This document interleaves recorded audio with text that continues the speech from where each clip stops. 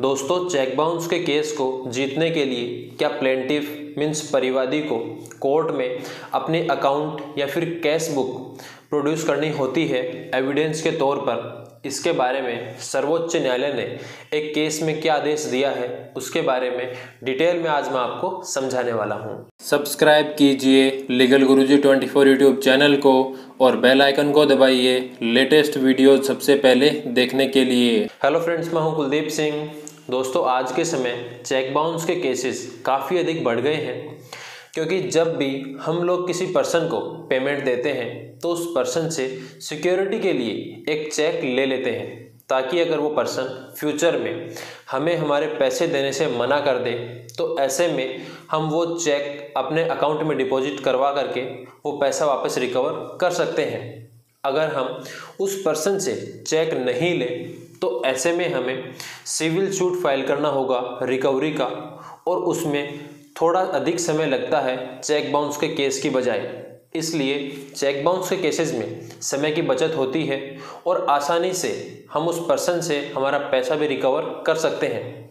इसके अलावा cheque bounce case का एक ये भी फ़ायदा है कि हमें कोई भी अगर हमारे पास में रिटर्न में डॉक्यूमेंट नहीं है कि हमने उस पर्सन को इतना अमाउंट इतनी डेट को दिया और उसके नीचे उसके हस्ताक्षर नहीं है तो ऐसे में हमें ऐसे किसी भी लिखा पढ़त मीन्स रिटर्न डॉक्यूमेंट की आवश्यकता भी नहीं होती है चेक बाउंस के केस में। लेकिन अगर हम सिविल सूट फ़ाइल करेंगे, किसी भी पर्सन से रिकवरी का तो ऐसे में हमें इस प्रकार के डॉक्यूमेंट्स की आवश्यकता होती है। अदरवाइज़ सिविल सूट जीतना काफ़ी मुश्किल हो जाएगा। अगर हमारे पास में कोई भी एविडेंस नहीं हो तो। इसीलिए दोस्तों चेक बाउंस का केस इतना इजी प्रोसेस है। इसीलिए ही जब भी कोई पर्सन किसी को पेमेंट देता है तो उससे चेक ले लेता है। लेकिन चेक बाउंस के केसेस बढ़ इसलिए रहे हैं कि आज के समय लोग पेमेंट तो ले लेते हैं, फिर वो वापस नहीं देते। और ऐसे में जब वो पर्सन उसके चेक को डिपॉजिट करवाता है तो वो चेक बाउंस हो जाता है। चेक बाउंस होने पर कोर्ट उस पर्सन को चेक के अमाउंट का डबल अमाउंट तक का फाइन लगा सकती है। मीन्स अगर एक लाख रुपए का चेक था तो कोर्ट दो लाख रुपए देने के आदेश दे सकती है। इसके अलावा दो वर्ष की जेल की सज़ा भी सुना सकती है और ये दोनों सज़ा भी एक साथ दी जा सकती हैं कोर्ट के द्वारा। दोस्तों चेक बाउंस के केस में हम डॉक्यूमेंट्री एविडेंस मीन्स जो भी हमारे पास में अगर कोई रिटर्न डॉक्यूमेंट है तो वो कोर्ट के सामने बता सकते हैं। इसके अलावा कोई भी अगर हमारे पास में विटनेस है तो वो पर्सन भी कोर्ट में जाकर के बता सकता है कि उन दोनों ने मेरे सामने ही ये ट्रांजेक्शन किया था। तो इसलिए मैंने वो ट्रांजेक्शन होते हुए देखा है।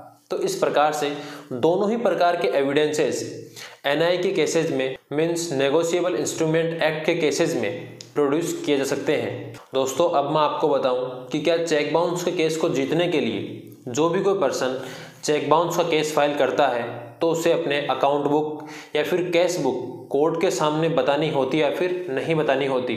तो उसके लिए आपको इस केस को समझना होगा। इस केस में अक्यूज मीन्स अभियुक्त ने प्लेंटिव मीन्स परिवादी से पेस्टिसाइड परचेज किया, जिसका अमाउंट देने के लिए अभियुक्त ने परिवादी को अपना चेक दिया। तो उस चेक को जब परिवादी ने अपने बैंक में डिपॉजिट करवाया तो अभियुक्त के अकाउंट में पैसे नहीं होने की वजह से वो चेक बाउंस हो गया। जिसके बाद में परिवादी ने अक्यूज को नोटिस भिजवाया। लेकिन उस नोटिस के बाद में भी अभियुक्त ने परिवादी को पैसे नहीं दिए, जिसके कारण परिवादी को केस फ़ाइल करना पड़ा अभियुक्त के अगेंस्ट में। जब केस फ़ाइल किया गया ट्रायल कोर्ट में तो ट्रायल कोर्ट ने यह पाया कि अभियुक्त ने जानबूझ करके अपने अकाउंट में पैसे नहीं रखे, जिसके कारण वो चेक बाउंस हुआ है। तो ऐसे में ट्रायल कोर्ट ने अक्यूज मीन्स अभियुक्त को दोषी मानते हुए सज़ा सुनाई और उसे पेमेंट देने के लिए भी आदेश दिया गया, जिसके बाद में ट्रायल कोर्ट के जजमेंट के अगेंस्ट में अभियुक्त ने सेशन कोर्ट के सामने अपील फ़ाइल की। लेकिन सेशन कोर्ट ने यह कहा कि ट्रायल कोर्ट ने जो जजमेंट दिया है, वो गलत दिया है, क्योंकि प्लेंटिफ मीन्स परिवादी ने अपनी अकाउंट बुक या फिर कैश बुक कोर्ट के सामने बताई ही नहीं कि उस पर्सन ने अभियुक्त को पेस्टिसाइड दिया था और उस पेस्टिसाइड के बदले में उसे अमाउंट लेना था और उसी के लिए ही वो चेक दिया गया था अक्यूज के द्वारा परिवादी को। तो यह बात परिवादी ने ट्रायल कोर्ट में प्रूव नहीं की, इसलिए अभियुक्त को बरी किया जाता है। यह आदेश दिया गया सेशन कोर्ट के द्वारा। तो सेशन कोर्ट के इस आदेश के अगेंस्ट में परिवादी ने हाई कोर्ट के सामने अपील फ़ाइल की और हाई कोर्ट ने यह कहा कि सेशन कोर्ट के द्वारा जो जजमेंट दिया गया है, वो बिल्कुल गलत है, क्योंकि यहाँ पर प्लेंटिफ को अकाउंट बुक या फिर कैश बुक देने की कोई भी आवश्यकता नहीं है, क्योंकि ये कोई सिविल केस नहीं है। ये N I one thirty eight का केस है। यहाँ पर अगर ये सिविल केस होता तो फिर प्लेंटिफ को अकाउंट बुक और कैश बुक एविडेंस के तौर पर पेश करने की आवश्यकता होती। लेकिन N I one thirty eight के केसेज में अकाउंट बुक या फिर कैश बुक देने की कोई भी आवश्यकता नहीं होती है कोर्ट में।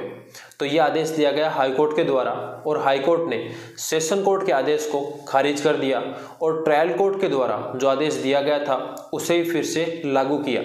तो ऐसे में अक्यूज ने हाई कोर्ट के जजमेंट के अगेंस्ट में सुप्रीम कोर्ट के सामने अपील फ़ाइल की और सुप्रीम कोर्ट में यह कहा गया कि हाई कोर्ट ने जो जजमेंट दिया है, उसको रद्द कर दिया जाना चाहिए।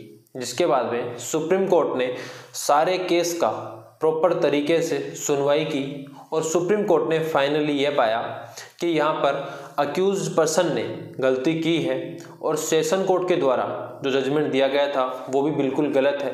तो ऐसे में ट्रायल कोर्ट और हाई कोर्ट के द्वारा सेम ही जजमेंट दिया गया था तो बिल्कुल सही है। और ऐसे में अक्यूज को दोषी मानते हुए सुप्रीम कोर्ट ने आदेश दिए कि अक्यूज पर्सन परिवादी को पेमेंट करे।